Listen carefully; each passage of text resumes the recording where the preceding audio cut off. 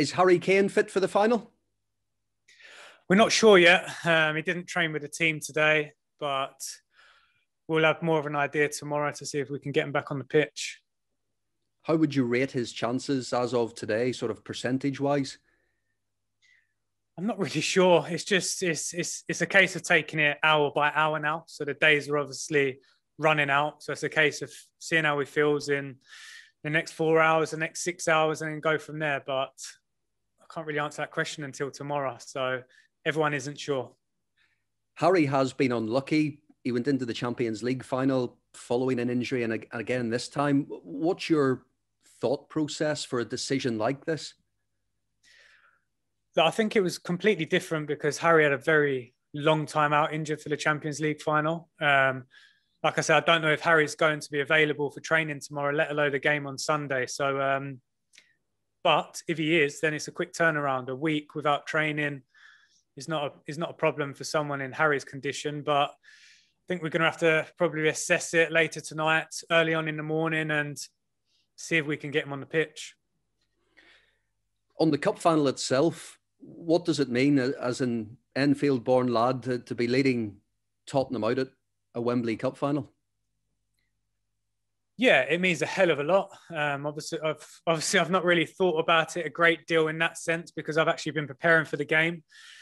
But I've said all along this this isn't so much about me. This is about the football club. Um, it's about Tottenham Hotspur being involved in these big matches, our fans getting to see us in these big matches, and my my mind, my focus is fully on the match. And maybe maybe one day once the season's done, and I can rest and, and get some time to think, then I'll look back on it and, and be very proud. Yeah, what shape is the squad in then going into a game like this against, I suppose, the champions elect in, in Manchester City? And, and how much of a boost did it give everybody to get the win during the week before this game? Yeah, there's no doubting Wednesday night was massive. Um, just for the whole energy around the club, the players, the feeling. It's important you go into a massive game like we have on Sunday feeling good. Um, and I think the manner in which we won the match Wednesday night, listen, it, it was a good feeling. The, the lads felt confident, they felt comfortable, and hopefully that momentum can build into the weekend. Have you had any dealings with conversations perhaps with Pep Guardiola in the past? And what have you made of, of his teams over the years? No, I've had no dealings at all. Um, just like any other football man that watches his teams. Um, listen, he's a great manager. He's, he's one of the best in the world. There's no doubt in that. He's been at City for, for a while now, so he's, he's, he's, he's got that as well. They've got a lot of familiar faces within their setup. They know how they play, but listen, we're, we're Tottenham and, and I'm sure they'll be thinking of us as well. And Gareth Bale, um, from your perspective, came straight back in. He, he scored a great goal against uh, Southampton. What's the key to, to getting the best out of him? Listen, we've got so many players in in those attacking positions that give us different options. Um, the other night, Harry wasn't available, and we just felt that we needed someone else in the final third that could produce moments of brilliance. And Gareth done that. Uh, I don't think anyone has ever doubted um, his ability. He's proven that over such a long career now that his quality is always there. And in those those big moments, those key moments within games, he he always produces.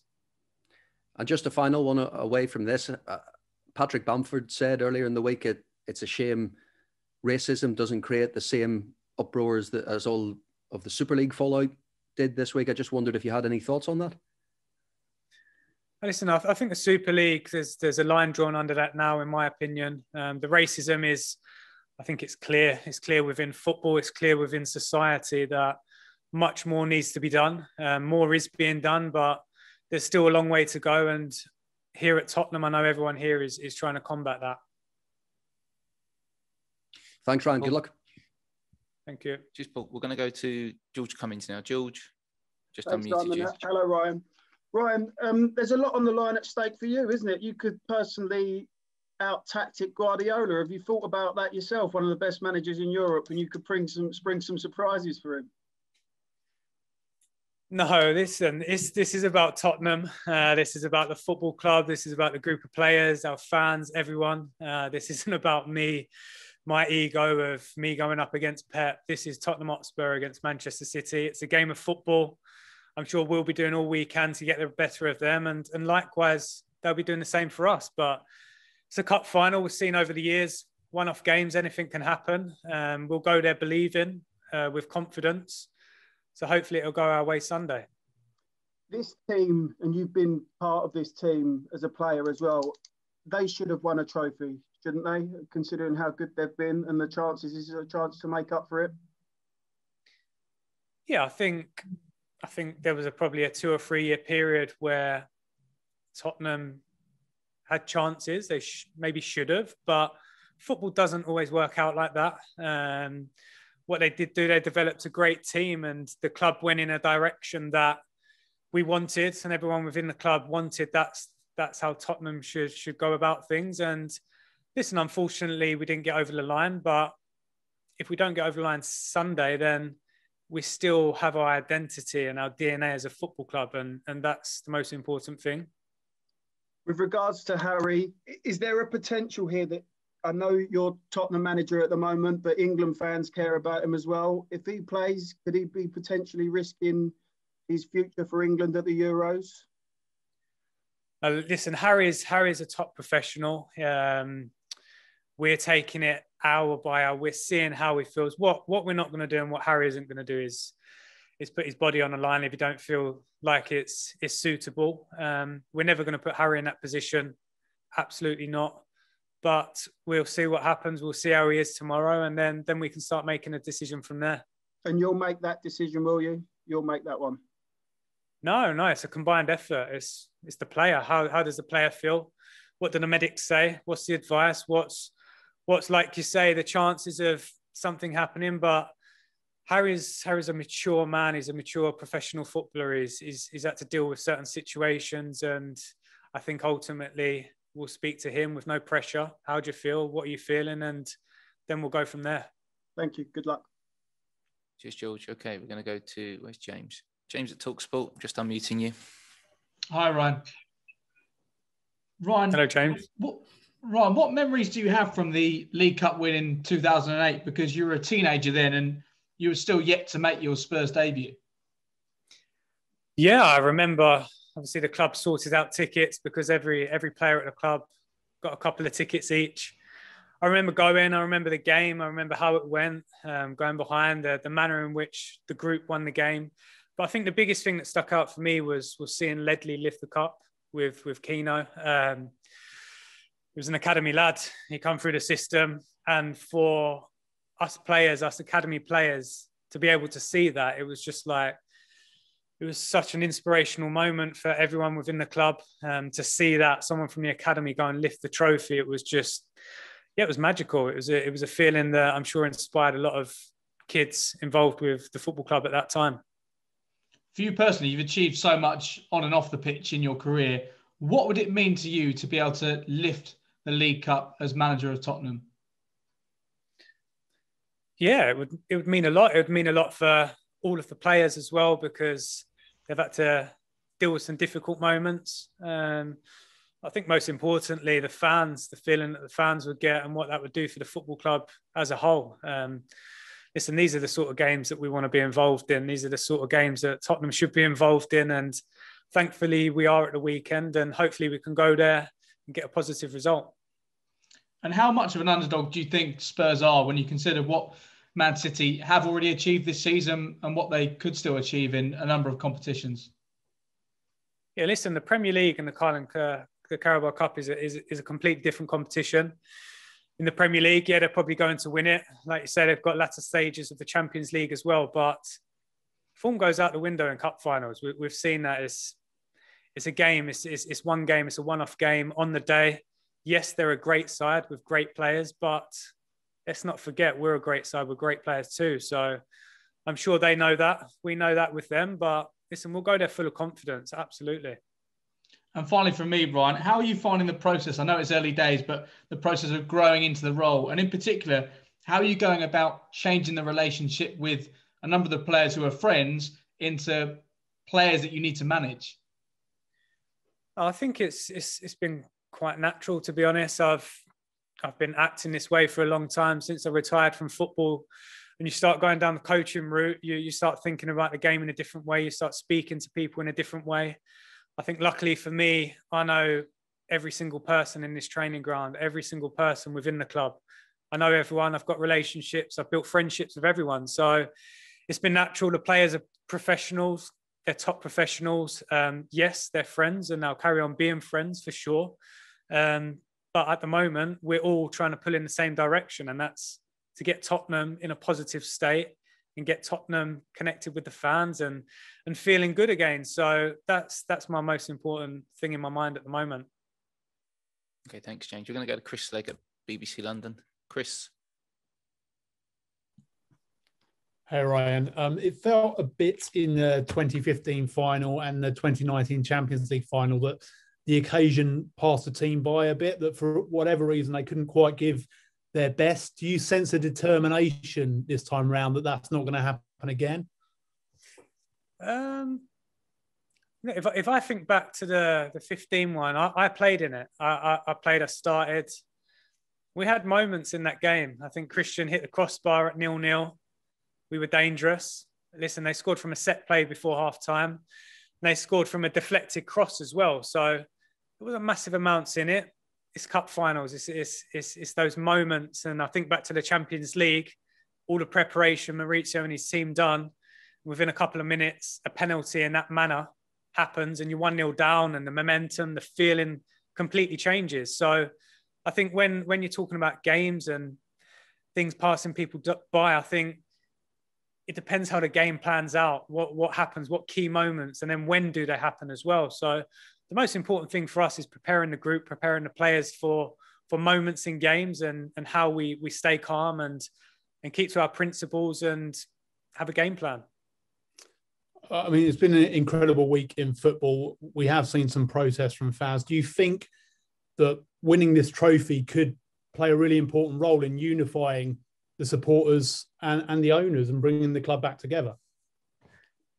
Yeah, I, I think the most important things in, in any football clubs are their fans. Um, I've had a great relationship with our fans as a player.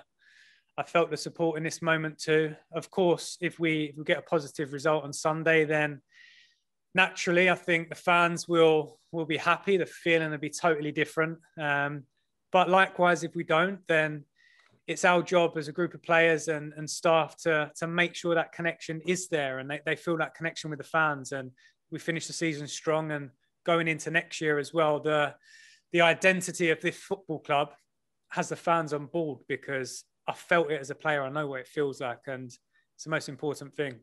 And just lastly, they say you've got to learn fast as a football manager. What, what's been your key learning in these these opening two or three days? it's difficult because it's such a short that's such a short space of time. Um, I touched upon it a minute ago. I'm lucky because I've I've built relationships already. Even the players that I didn't play with, I've been able to build relationships with them in the last last year, 18 months. So I have that. I have the trust of players. I have the respect of players um, for many different reasons. But I think it's just trying to get messages across as clear as possible. Um, not too many messages, but some messages and, and how you translate that. And that's probably been the biggest challenge in, in the last 48 to, to 72 hours. All right, thanks, Chris. We've got Jerry Cox. Hi, Ryan. How are you? Yeah, very good. Thanks. Yourself? Yeah, yeah, yeah, yeah. Looking forward to this. Um, Hugo Lloris was uh, very complimentary about you, and he said, you know, don't underestimate Ryan. He's got a clear idea of how he wants to play and so on. Can you sum up your footballing philosophy? No, not at the moment. I mean, I've, I've been on my pro license. You get asked that, and listen, you could have 50, 60, 70, 80 slides of this is my idea, and this is, I think that's difficult. I think the most important thing for me is to have an idea, to have a structure, the players to have an idea and know what's expected of them. And then also within that, to give the players the freedom to, to act instinctively and what they feel on the pitch. Um, that's probably If I'm trying to cut it short, that's that's probably it in two sentences. And, and Gareth said the other night at half time, you know, you told the players to have belief and and to get on the front foot a bit more. Do you think that's a, a difference that from the Spurs that we've seen in the last few months that there was a bit more of an attacking intent second half? And listen, what's happened before this week has has gone in my eyes. Um, the most important thing at half time was giving them belief. And when you're not winning games of football, it's, sometimes that belief can go. Um, but the most important thing, I am very, very proud of the boys because they had that. They, they believed, they stuck to it. Even the way the game went with the VAR decision, the disallowed goal, but to keep believing and to keep going off the back of not much positive results or performances, it it says a lot about the group. It says a lot about the players, the characters, the personality of them, and um, that was the most pleasing thing for me. And just finally, how important will it be? How, how proud will you be to have fans there at Wembley? So to have Tottenham's fans be able to watch the cup final? Oh, massively. It's, it's obviously a, a massive shame that it's not full, uh, that, that we can't have tens of thousands more. But some fans, it's better than no fans. And like I said, I think the most important thing is the feeling around the club, the feeling that you get from the fans, even though they won't be there. I think we feel their energy, um, and hopefully we can we can create that feeling within the football club that's that's a positive one, and there's a connection between the players, the fans, and everyone involved with Tottenham Hotspur. Okay, thank you, Jerry. I've got hands up from Jonathan Veal, Alasdair Gold, and Kieran Bradley, and that will be it for the broadcast after that. Jonathan, I'm coming to you first.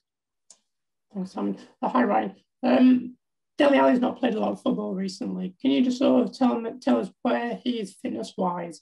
but also what he needs to do to get back to being the player that you will have seen sort of like four, five, six years ago. In terms of fitness wise, he's he's fine. The group, the group are absolutely fine. I think we see that the other day. I think if the group weren't fit, then we wouldn't have been able to keep going at the end and and keep being on the front foot and keep believing. If, if they had any doubts mentally, then surely that's absolutely gone now because to score late on says that not only physically you're fit, but mentally you're ready to compete for 90, 96 minutes as well. And in terms of Gareth as the individual, I think he's shown this year that Gareth in the final third is, is still Gareth of five, six years ago.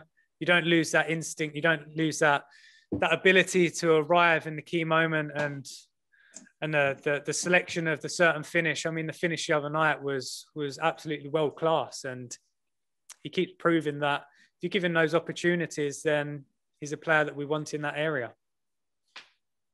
You actually mean Dele Alli. Um, so if you could sort of say what he he sort of like needs to do to get back to being being his best. Yeah, I think I think the group. So we've got, I've got 20, 20, 22 to 23 players as a whole, injured, not injured, fit everyone everyone has a key part to play in the next six games. Um, most important thing that everyone's working hard in training, everyone's giving their all. So when called upon, if called upon, then they're ready to compete and ready to fight for the team. And I have to say that the, the attitude of the guys and the application in the last this last four or five days has been absolutely top. It's been top from everyone. So with that, it gives decisions to make and and who who who gives me the feeling of of who should play. And but that's the decision that I'll make and us as coaches will make. But the most important thing is that the players are ready. They're competing. The attitude is right in the application. So that's all I can ask for. It's obviously been a whirlwind week for you this week. You wouldn't have started this week thinking you'd be leading the team out in the, in the Carabao Cup final how on earth do you sort of prepare tactically analysis wise for a game against you know one of the best teams in Europe yeah, you'll be surprised. You'll be surprised. There's there's a lot of hours in the day, believe it or not, especially when you're not sleeping. So there's time to prepare. Um, there's there's definitely time. It's just getting that message across to the players, um, giving them the ideas, the the solutions to certain situations, and we'll see on Sunday. We didn't have much time on Wednesday. We had a positive result, and likewise, we haven't got much time this week, but and the players are listening, the players are fully engaged. So hopefully we'll go there full of confidence and get a positive result. Thank you. Thanks, John. Ali Gold. Hi there, Ryan. Um, just want to pick on that. You mentioned they're not sleeping. I mean, how many hours are you putting in a day right now to try and make everything happen so quickly? Yeah, a lot, a lot. I'll be honest, a lot. But that's natural. That's normal. I think you speak to any head coach in in this situation, especially when you've got two games this week. Um, I probably 48 hours to prepare for the first one, and an extra couple of days this time. But that's normal. I'm sure that's normal. I'm sure the people, the the managers that have longevity in the game, find a way to to manage their time and focus their energy on certain things. But I think the most important thing, like I've said, is getting those messages across to the players, um, giving them the belief that how we want to play and how we want to approach the game is right, is right for the group of players. And that's been the most important thing. I just want to touch quickly on Gareth Bale there. I mean, obviously, fantastic goal on Wednesday night. The last time we kind of see him, he went on a little bit of a run of a purple patch of form, uh, which was terrific. I mean, could this be the start of another one of those? And does it prove that even someone that's in their 30s, it's still about belief and confidence at the end of the day. Yeah, I, th- I think any player, regardless of who you are, of what you've what you've in- achieved in the game, you need to play one with confidence, and then and also that that freedom of of being able to act instinctively. And what we see from Gareth the other night was was something that we've seen for many years. We've seen it this season as well. That if Gareth's in the final third and he gets moments, he gets opportunities, then you back him to take them. Um, also, what we have is competition. We have we have people pushing. We have people who believe and are confident themselves. So there's there's some decisions to make. There's some tough decisions to make, and I think the game plan, the idea of of how we want to approach it, will probably dictate who plays and what condition players are in. But Gareth's Gareth's a world class player. He still is, regardless of his age, regardless of, of, of many different things, he hasn't lost and he won't lose that ability to find the back of the net. And with the clean slate, obviously, you bring for a lot of these players who might not have got the minutes uh, before you. Do you notice that kind of extra zip from certain players? Is, is does it give them a, a renewed kind of lease of life for the rest of the season? Yeah, I would hope so. I'd hope so. Like I say, everyone's been excellent in training in the last few days. The the attitude and the happiness of, of the players that didn't play on Wednesday night was top as well. And that's that's so important when, when you've got a squad of top players, like a lot, a lot of top players, it can be sometimes very difficult to manage that. Um, but the group are together, the players are together. And like I've said to all of them, um, it's a case of who's who's doing well, who who gives me that feeling. If if you're ready and, and you're training hard, then there's a decision to be made. Um, there's no one written off. And it's just about giving the players as much confidence and belief as possible that if you're called upon, then you're called upon because we trust you. Okay. Thanks, Ali. Kieran Bradley to finish. Kieran. Hi, Ryan. Um, it's obviously been a fairly whirlwind few days, as people have been uh, uh, saying to you there, and you've been at pains to say that it's not about you and obviously about the players. I just wonder if uh, any uh, messages have come in from around the football world, maybe uh, to give you a few, you know, tips, advice, whatever it might be. Uh, maybe give us a bit of a, a steer on that. look, I, my phone, my phone's been going off crazy. I've not there's probably a lot of people out there that think I'm ignoring them, but honestly, I'm not. I've just not had the time to to respond to three or four hundred messages. Um, I've got people that I trust. I trust their opinion. I've got people that I value their opinion um, in the football world that I've spoken to. I've been in conversation with.